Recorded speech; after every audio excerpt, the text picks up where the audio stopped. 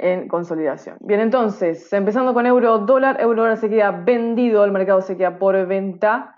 Eh, las posiciones que queden de momento tienen que ser vendedoras, no pueden ser compradoras, sin embargo estamos arriba de 1,24, lo cual implica que tenga que dejar una cobertura en torno a 24, por lo menos 24.40 o 24.50.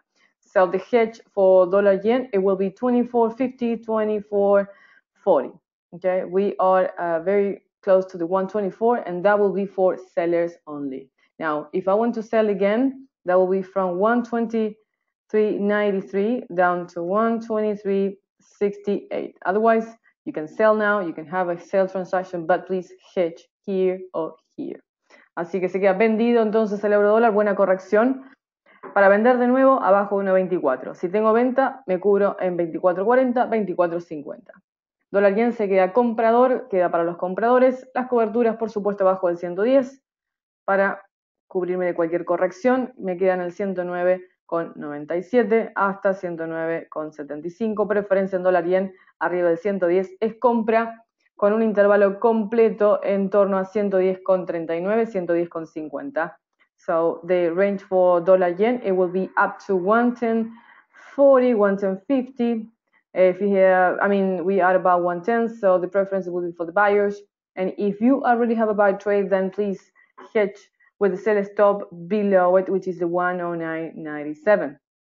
Así que debajo del 110 me queda el 109.97 la cobertura, eh, preferencia compra y el mercado hoy se queda comprado para el dólar yen al 110. Don't forget that it's in sell pressure area, so the sellers may want to try to enter here with dollar yen or to liquidate their transactions. But like I said, the preference would be today for buyers. Eh, dólar CAD también se queda comprador el día de hoy, eh, va a quedar en torno a 1.25. No se recomienda hacer absolutamente nada en dólar canadiense hasta que quede arriba de 1.25 o que el mercado empiece a corregir. So with dollar CAD, we don't recommend to do anything here these levels unless we are above the 125 or the market start correcting today. That, that will be, you know, to close day buy transactions. So nothing to do with dollar CAD, please.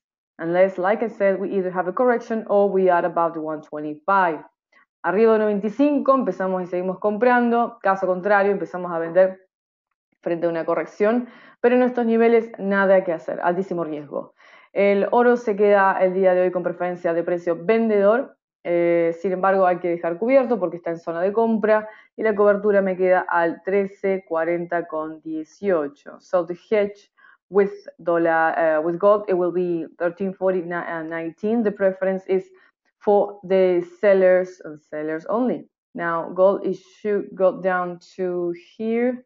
If I want to sell again, you should wait here. Target one, target two. The entire range will be down to here. Así que el intervalo termina acá abajo. Here finish the range for gold. But this is your buy stop. Okay. Ese es el buy stop. La libra se queda vendida también. The pound dollar will finish also for the sellers. But we are going to sell again with the pound down below here. It has to go through here. And this is our sell price. 39.63. 39.63, o sea, abajo 1.40 específicamente. Seguimos vendiendo con libra. Se queda por hoy el eh, vendido libra dólar. Caería, repito, 39 32, 39, 32. That's our next target.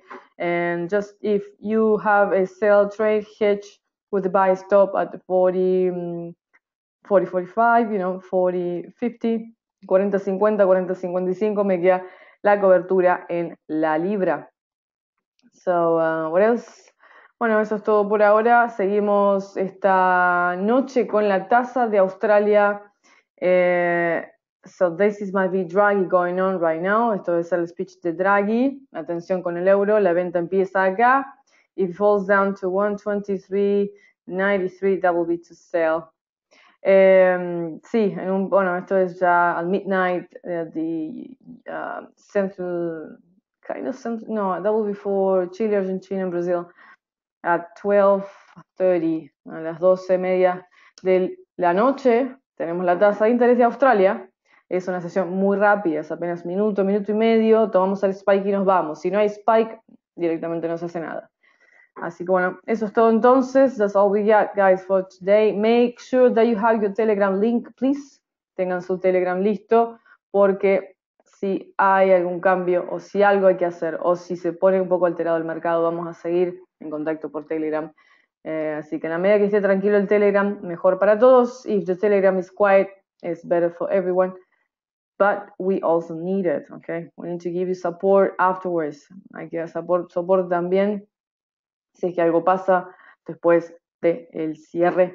Uh, así es, quedarse con ventas en euro, quedarse con compras en dólar yen recordar simplemente que estamos operando en contra del área de mercado, o sea que el mercado se pone un poco más lento cuando se transa en contra. Y bueno, hay que simplemente llenarse de paciencia y nada más. Since we are trading against the, the pressure of the area, everything gets a little bit, you know, at low motion. Okay, but that doesn't mean that you're doing things wrong. It's just that, you know, it gets a little bit slower for everyone. Okay. So yeah, this video will be uploaded to the YouTube channel. So, you know, you're to have it there. Also, you're to have it posted here at your Telegram link. Estimados, seguimos entonces en la próxima sesión con Australia. I'll see you everyone the next trading session with the Australia. Que tengan buen día. Chao, chao.